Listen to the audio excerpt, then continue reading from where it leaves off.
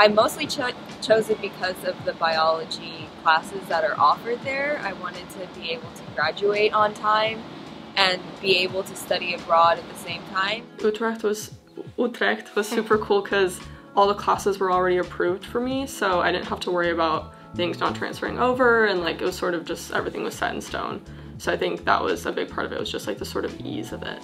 There's uh, a specific course list that they actually have for Utrecht University that gives me a few classes I can choose from that I can take and it'll guarantee that I will get the credit for those classes back over here. So that really sold me on that.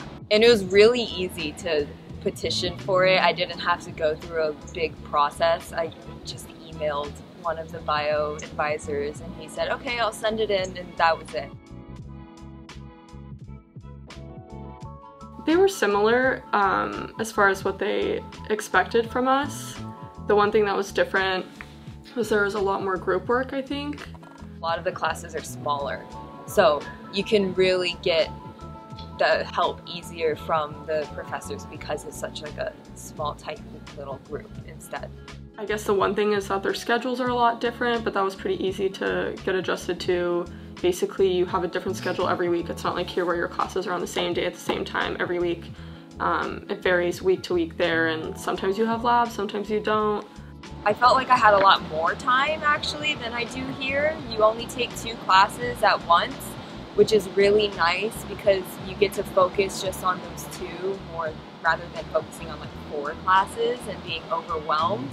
So I had a lot of time to just go around and do stuff and enjoy studying abroad.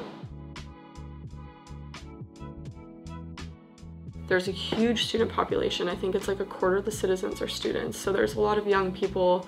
So there's so much going on. Like there's always like little music festivals or like events or like they're all the bars and restaurants are always like full of people and it's really lively. Um, the Netherlands is really easy to travel around. It's their transportation is actually really awesome.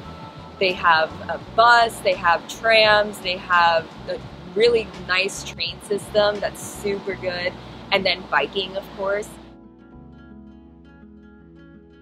Like I knew all my classes were gonna count towards graduation and I wouldn't have to stay longer, which is like a huge thing for me. Like I couldn't afford to do like another two quarters here. Um, so yeah, it just made the whole process a lot easier. I recommend I think it's like one of the coolest places you can study because it's like still super like low on the radar so you get like a really unique experience. Overall like great experience. I never had any like sad point over there or anything. I was just like it was just great the whole time.